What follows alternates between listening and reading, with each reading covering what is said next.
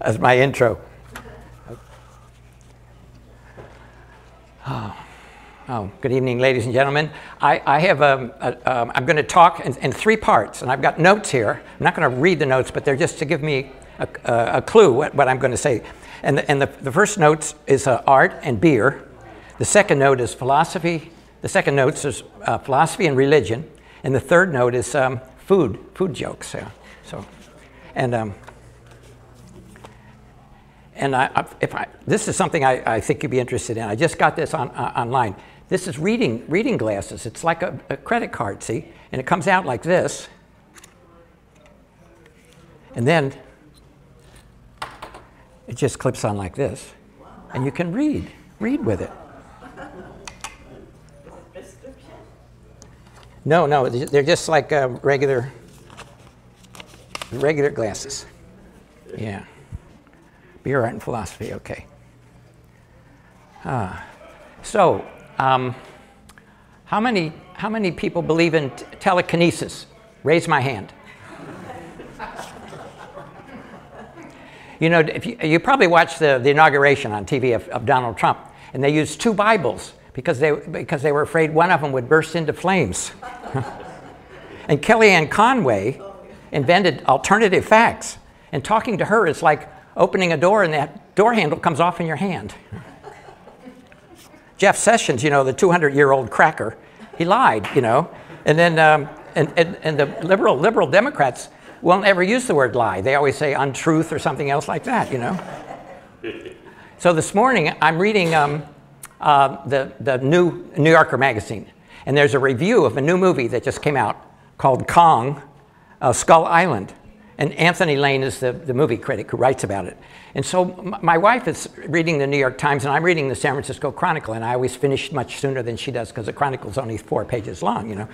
So, um, so this, is, this is a quote that, that I was reading in there, and she thought I was talking about Donald, Donald Trump, and it's, it's about this movie, you know, about it's kind of a modern King Kong movie. It says, not to give the game away, a large primate who has made absolutely no effort to meet with his therapist and neither the ride nor the film will be content until you go, in the richest sense of the phrase, apeshit. this, this room has a great feng shui. It has great uh, proportions, you know. So the universe is really present in the form of proportion in this, in this room, you know. And I've noticed that this, everything in this room is gradually turning yellow. And, and you'll, you'll notice it in a few minutes. And so, um, this is, this is a quote from uh, Henry David Thoreau. He says, The gods are looking down on the people in the tavern. That's a real quote from him. Confucius said, Is it not delightful to have friends coming from distant quarters? And I have an artist club every Wednesday that people come, and that's, that's, that's how I feel about the, what Confucius said. So anyway, I'm a, to tell you a little bit about myself. I'm a first generation conceptual artist. That's you know like from the late 60s and early 70s. You know, and conceptual artists are free to work in any medium except painting. You know, but someday I'm going to retire from art and take up painting. You know. and uh, the, other, the other two things, the, the, the other two works uh, I'm most known for, um, one second sculpture from 1969 where I threw a metal tape measure in the air and uh, it fell to the ground and, and it existed for one second, made the sound and everything, you know. And now that's become a, a, piece that I'm known for. And also the one I'm most known for is the act of drinking beer with friends is the highest form of art, which I did in the Oakland Museum in 1970. And now I've been doing it ever since, literally all around the world. So one time I'm, I'm talking to a group and I'm, I'm explaining about my beer with friends, you know, and somebody said, I do that all the time with my friends. Is, is, that, is that art? And I said, no, it's a copy of my art. here's, a, here's a quote from Benjamin Franklin. He says, proof, um, a beer is proof that God loves us and wants us to be happy so one time, it, I, you know, the Anchor Steam Beer used to be a, a, a, sponsor of mine. They would always give beer one time. And there was a tour one time and, um, of people going through the Anchor Brewing Company. And there was a big vat of, vat of beer that a guy um, uh, climbed up and fell in, the, fell in the vat and he drowned. So the owner, Fritz Maytag, had to go to the guy's um, hotel to tell his wife that, that the guy had drowned. And she says, Well, I hope it, at least he went quick. And he said, no, he got out three times to pee.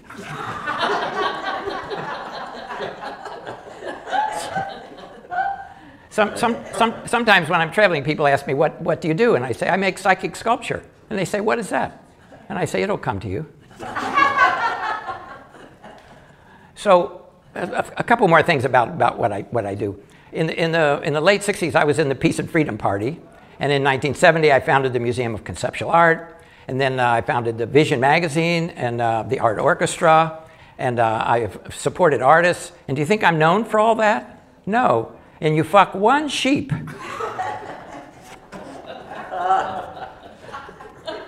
I have, a, I have a theory that in the seventh year of every decade, the next decade is, is predicted, you know. Like, for instance, in, in uh, 1907, Picasso invented Cubism. 1917, Duchamp exhibited his, his uh, famous urinal called Fountain, and that became the beginning of the, of the Dada era. In uh, 1917, Thomas Hart Benton established the, the movement called regionalism, which was, which was the art of the, of the 1920s. 1937, Theodore, um, not Theodore, uh, uh FDR, Roosevelt, uh, established the, the uh, WPA, the Works Project, and that was the beginning of the, of, of, of the uh, social realism. 1947, Jackson Pollock did his first drip paintings, first abstract dip painting, and that was the beginning of abstract expressionist painting. 1957, Jasper Johns and Robert Rauschenberg did the first pop art painting, which became the art of the, of the 60s. 1967, um, Sol LeWitt wrote his famous Sentences on Conceptual Art, and uh, that became the beginning of the conceptual art period, which was the art of the, of the 70s. 1977, Julian Schnabel um, did his famous uh, broken plate paintings, and that was the beginning of the first neo period of neo expressionist painting, and painting returned because the period of the 70s was uh, about uh, um, more philosophic kind of art. And um, then in the 80s, uh, it was art about money. And so then painting returned in, 19, in the 1980s. 1987, Jeff Koons, who was a neo-pop artist, and, uh, and, it was the next neo movement, and that was the beginning of a kind of, uh, return to, to, pop art. In 1997, there was a Belgian artist and a Russian artist who claimed to have invented internet art. And that was the art of the last, last decade of the, I mean, the first decade of the, of the uh, 21st century. In 2007, I had a show at the Paula Anglim Gallery of all circles, and I invented circleism 100 years after Picasso invented cubism.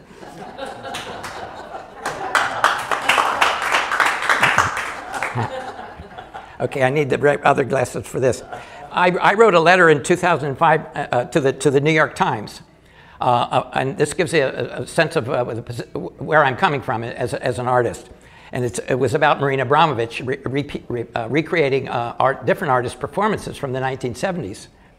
And um, so they set it up, and then I go on to say, in the 1970s, I was in performance festivals in Europe with both artists, and they are both great artists, referring to Chris Burden and Marina Abramović.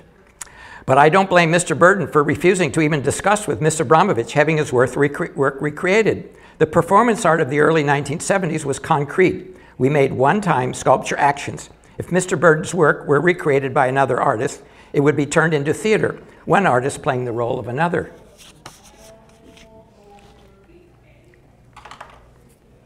So, um, you know, some of these, most of these jokes I've stolen and changed and everything, you know. And so uh, it's okay to, uh, if you steal from one person, it's plagiarism, but to steal from many is research. Uh, the, uh, about, yeah, about 15 years ago, the uh, art, art, critic came to my studio to look at my work, and I said, what is your opinion of my work? And he said, it's worthless. And I said, I know, but I'd like to hear it anyway.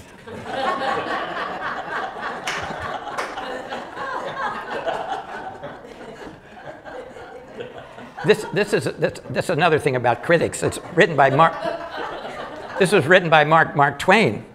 He said a recently, it's about a recently de uh, deceased critic. He says, I did not attend his funeral, but I wrote a nice letter saying I approved of it.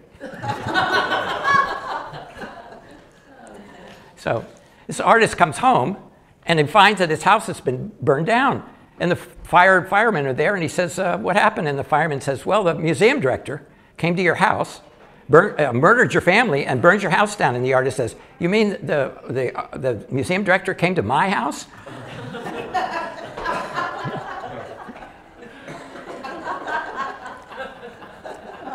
Video, video art is a medium because it is neither rare or well done.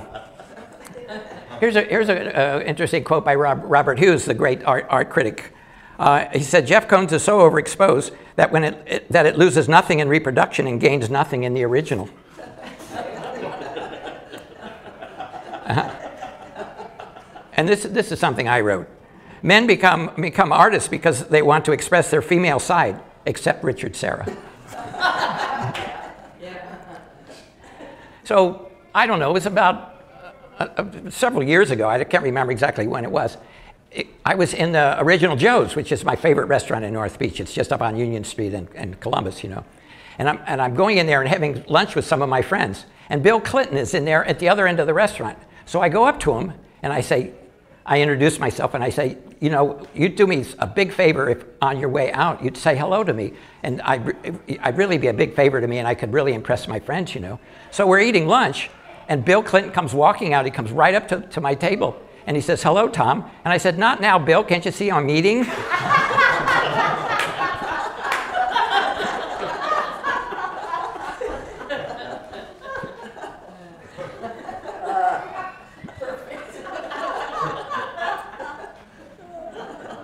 A few Germans know this, but Mrs. Hitler used to comb her pussy hair to the right to honor her husband. Is that too much? so this is this is one of my favorite cartoons that I cut out. It was in the was in the New Yorker a couple about a year ago, and it's I have to describe it because uh, it, you can't see it. It says, and it's called Afghanistan Terrorist School, and there's a big sign that says Human Bomb Class, and there's four. Um, you know, Muslim terrorists. Not that there's anything wrong with that. And so the, the main guy, the teacher, he's got a bomb strapped to his, to his, st- to his stomach, and he's holding a, a, a detonator in his hand like this, and he says, Pay attention because I'm only going to do this once, okay?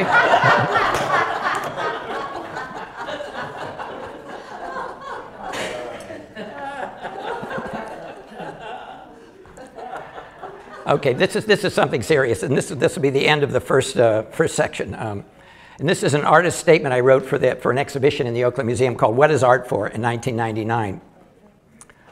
For beauty, for history, for decorating apartments, for people to laugh at, for imitating nature, for therapy, for seeing in a new way, for an educated audience, for enlightenment, for political agendas, for glorifying the church in the Renaissance, for glorifying the state in communism, for glorifying the rich in capitalism, for recording society in a poetic way.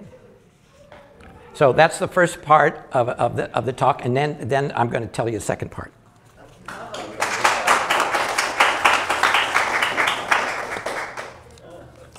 Okay.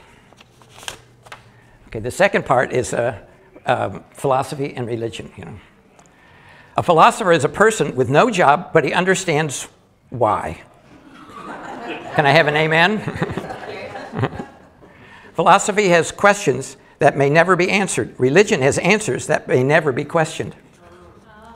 The secret to success is always be honest. If you can fake it, you've got it made.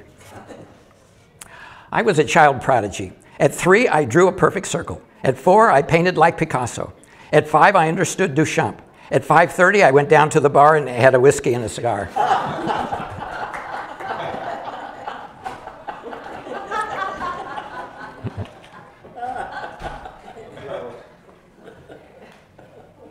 Yeah, welcome. Are you the guy that was outside that I told to come in? okay. okay, thank you. Um, so I have, I have a theory that, that everybody sees the, has an idea of what the point of art is, depending on what they do. For instance, a philosopher's idea about art is that it's something to analyze, you know. A writer usually thinks that the purpose of art is to illustrate stories. So it should be pictorial, it should be representational, because writers think of art as illustration for stories generally, not all writers, of course, you know. And architects see art as, as abstract because they see it as ornamentation for architecture. So everybody has a, a, different idea about what the purpose of art is, you know. So anyway, um, this guy goes to, um, goes to a Buddhist hot dog stand, and he says, make me one with everything. then he, gives, then he gives, the, gives the guy a $20 bill, and, and, he, and he waits, and he says, where's my change? And the guy says, Change comes from within.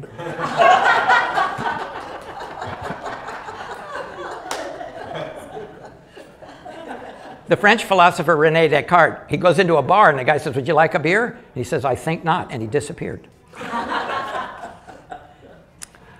I feel sorry for atheists. They have no one to talk to when they're getting a blowjob. oh, boo. How many Freudian analysts does it take to change a light bulb? One to hold the penis, I mean the ladder. I know I'm God because when I pray to Him, I realize I'm talking to myself.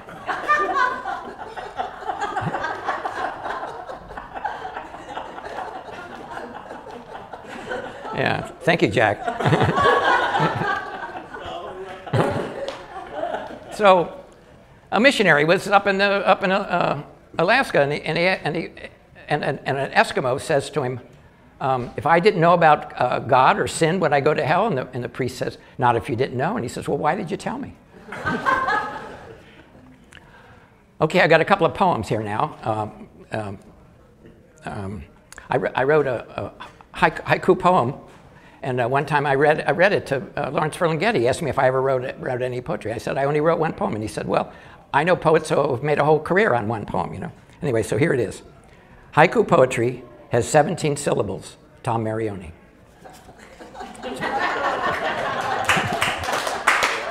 very didactic, very didactic. So here's another haiku poem. Um, da Vinci, Duchamp, John Cage, Beuys, and Brancusi, Klein, and Picasso. Now, I have all the pictures of these artists on the wall over my bar in my studio. And the reason, the reason they're up there is because they all invented something. Leonardo invented automation, Duchamp invented conceptual art, John Cage invented the happening, Joseph Beuys invented uh, social sculpture, Brancusi invented abstract sculpture, Yves Klein invented invisible art, and Picasso invented collage. So they're, they're, I think of them as, as my teachers, and that's why I hang their pictures up on, on my studio. Uh, the, here's a couple of, of, short, short poems that I wrote. Um, this one's called Movies Lights, Camera, Action, Cut, Print. This one's called TV. New, this one's called Newsbreak. This is Tom Marioni at 5 and 6 on 7, film at 11, and now this. Here's some interesting statistics. In the US, 90% believe in God, 40% believe in creationism. 81% believe in heaven and hell. 29% of Republicans believe Obama is a Muslim. That, I, I read that somewhere, yeah. Um, about 10 years ago, I, I was at a, a, a concert that, uh, of John Cage's 433, which is 4 minutes and 33 seconds of silence, you know, that he wrote in 1952. And after about a minute, there's a woman I heard in the stage whisper say, I still can't hear anything. so in, in, the 1980s, I made uh, several trips to China and Japan. And, um, and, in, um, and I studied uh, Chinese calligraphy. I learned how to write a, a, lot, a lot of words, not, not a lot, but the words I, I like because I like the way, that, the way they looked. For instance, when you write music, it's two characters, it's sound and harmony. And it and kind of describes, um, the word is, is described when you, when you write it, when you read it, you know. And the other one, my favorite, was how you write art in Chinese in a kind of script the, the character on the left is beauty, and the one on the right is skill. And I see it as uh, the beauty is female and the skill is, is male. And it looks like, to me, a man and a woman dancing together, and the man is turning the woman around, and her skirt is flowing like that. So, so when you think of, of skill and art, it kind of describes uh, what art is, you know. And speaking of art, these, two, these two um, this Chinese couple was in bed, and the husband says to the wife, can we do 69 tonight? And the wife says, You mean you want beef and broccoli now?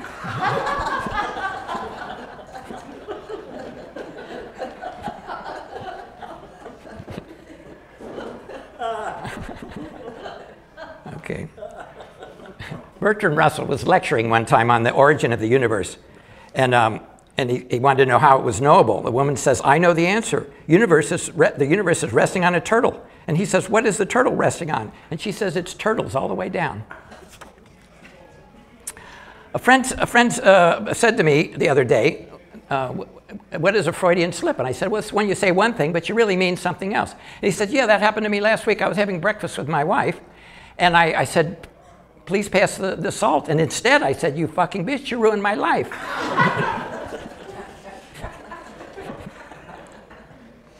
the, psychiat- the psychiatrist uh, that was a friend of Mickey Mouse's, um, Mickey Mouse hires him to go and talk to Minnie Mouse to find out, you know, what's going on with her, you know. And so uh, a week later, the psychiatrist comes back to Mickey Mouse and he says, You're right, Mickey. Minnie is crazy. And he said, I didn't say she was crazy. I said she was fucking goofy.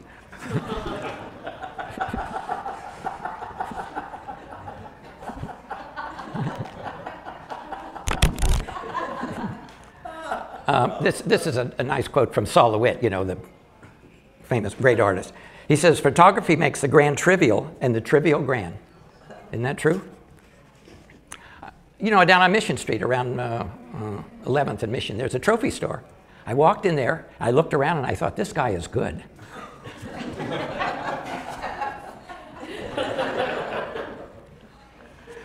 so this, this uh, reporter from the, from the CNN hears about a guy in, in Israel who goes to the Wailing Wall every day for 40 years. And, and so she, wants, she goes to interview him, and, and she, gets, she gets there, and she, go, he, she goes to the Wailing Wall where the guy is praying, and she says to him, what, what are you doing? And he says, I'm praying for peace between the Israelis and the Palestinians, Palestinians so my children can grow up in a, in a, in a better world.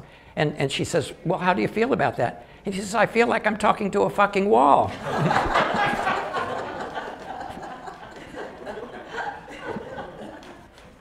so, so this, this Jewish grandmother, she's in the, in the garment district in New York, and a flasher runs up to her and opens his coat and exposes himself. And she says, You call that a lining?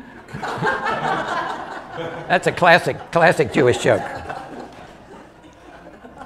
I've been reading this book on anti gravity and I can't put it down. You know. I'd kill for a Nobel Peace Prize. this actor's doing, doing a terrible job with, with Hamlet, you know. He's murdering it, and people are throwing, throwing fruit at him and booing him and hissing, and he stops, and he turns to the audience, he says, I don't write this crap.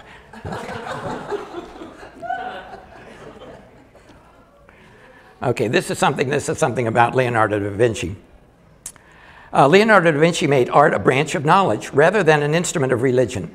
He, he wrote a music score based on the sounds do, re, mi, fa, sol, la, ti, do that are in syllables in the Italian language and turned them into notes of an octave. Love only makes me remember was the first sentence he wrote that he turned into a musical score. Leonardo was a conceptual artist and the son of God. I'm surprised I have to point this out. You know, this teacher was teaching, teaching her children, uh, and she says, There's no language where a double positive is a negative. And the student says, Yeah, right.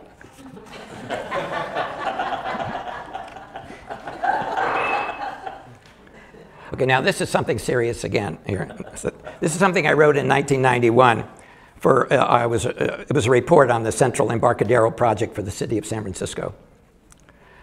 Sculpture is about the relationship of forms in space. It should grace the landscape, not be symmetrical. Use the geometry of nature. Have good proportions. Be controversial at first. Become a thing of pride to the public. Have a subject. Make a point. Be symbolic of something not be generic abstract. It should be sensitive to where it is. Work with its neighboring objects. Emphasize local character. Have a social element. Use shadows. Be a spirit in the dark. It is an object that draws you to it. Has poetry or technological information. Predicts the future. Allows your imagination to travel to the past. It should bring people up to the level of art. Fight against a world of standardization. Have layers of meaning. Be open to interpretation not be painted red. A little red goes a long way. It should have more than one side. Not emit obnoxious sounds. Consider acoustics. Reject vandalism. Encourage participation. Okay, thank you. This is the end of part two philosophy and religion.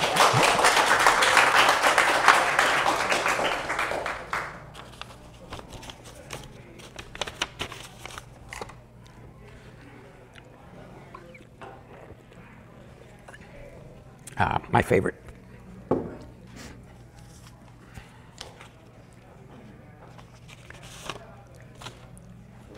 Okay, these notes, these notes are about, they're general, general jokes, and, uh, and I didn't know uh, what to call them, but there's some jokes about food in here. Since we're all mostly foodies here in San Francisco, you know, you know there, were there, there, there's three food critics on the San Francisco Chronicle and only one art critic. That's, that's how That's how important food is compared to art in this city.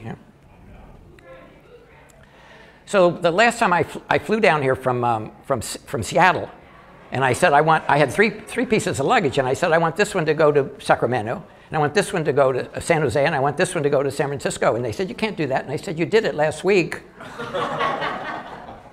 and then I'm on the airplane, and uh, the stewardess says, in case of air pressure, the, uh, uh, the oxygen mask will fall down in an emergency for $3. you know why babies cry on airplanes? Because they're, they're, they're, uh, they're unhappy about a gay, gay marriage. So anyway, I'm on the airplane, and there's a, a, little boy in the back of me kicking my seat through the whole flight, you know, keeps kicking my seat. And at, and, and at that point, I, I was in, in favor of late-term abortion up to the fifth grade. back in the, back in the, uh, in the 70s, I had a, a, a, a, hippie girlfriend, you know. She was into psychedelics and, uh, and, uh, and um, you know, and, and, and wore tie-dye clothes. And, and she, she said, we, we are one with the universe, we're one body, we're, we're, we're one person, you know. And I says, well, how about paying a little attention to our dick? oh, boo, yeah. so I saved the, the good ones for the, la- for the end, you know. Okay, you know, I saw on TV that for 70 cents you can feed a starving child in Africa. But for, for 2.99, uh, you can, uh, a minute, you can have somebody talk dirty to you uh, on, the, on, the, on the telephone. So I was thinking that if you had one of the starving children talk dirty to you, you could feed hundreds of them for, for, for $2.99, you know. Did you know 42.7% of all statistics are made up on the spot? Why are hemorrhoids called uh, hemorrhoids instead of asteroids?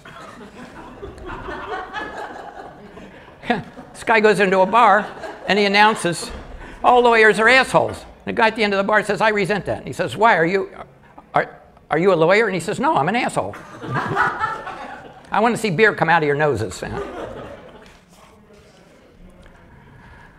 A friendship is like, uh, like, like peeing on yourself. Everybody can see it, but only you get the warm feeling. Guy goes to the doctor, and the doctor says, You only have uh, three minutes to live. And he says, Can you do anything for me? He says, I can boil you an egg.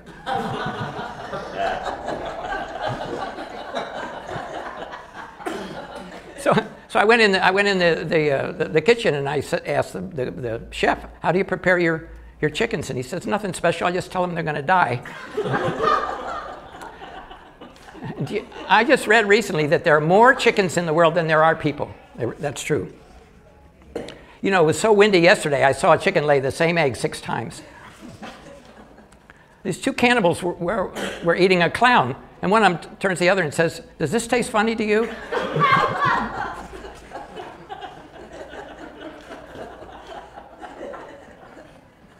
About 10 years ago, you know, uh, Mother Teresa died on the same day that Princess Di, you know, and they, and they both went to heaven at the same time. And they're up, they're up in heaven, and, and, St. P- and St. Peter's there.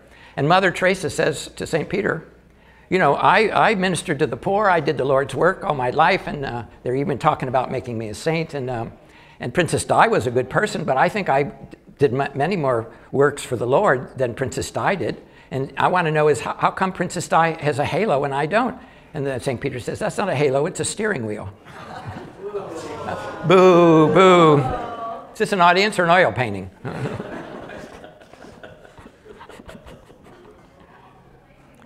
so nun, nun is in the, in the convent. She goes into the, to tell the Mother Superior that I'm sorry to report that we have a case of syphilis. And the Mother Superior says, Oh, I'm so relieved. I was getting so tired of the Chablis.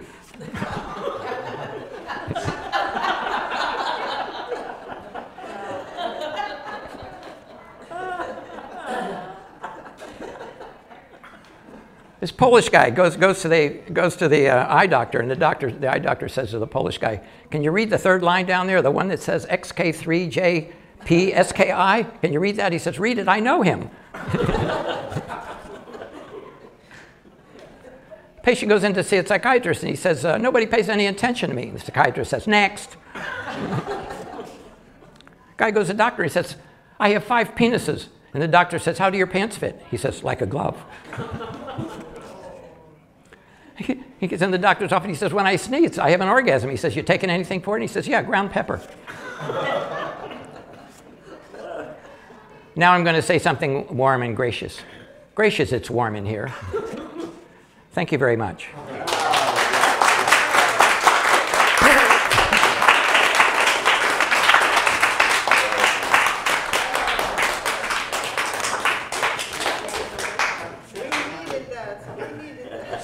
Anybody have anything they want me to say?